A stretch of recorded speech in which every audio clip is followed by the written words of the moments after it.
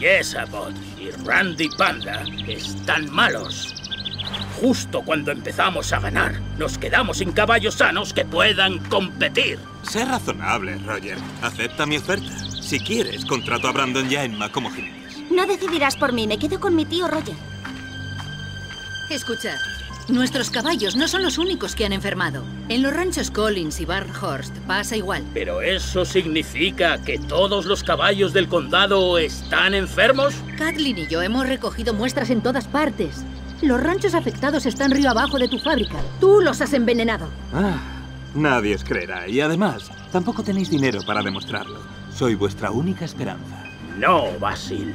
No te venderé mi rancho. ¿Y por qué no te informas en el banco? Estás casi en bancarrota. Te absorberé sin problemas. No te lo permitiré. ¿Y qué harás? ¿Jugar a la lotería? No, el concurso de Kentucky.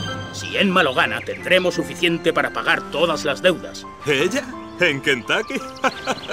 con ese plan, Roger, pronto me quedaré con el rancho. El Kentucky, ¿eh? Solo una potrilla como Enma podría ganarlo. Roger, estaba equivocada sobre vosotros dos. ¿Sabes? Creo que lo lograremos.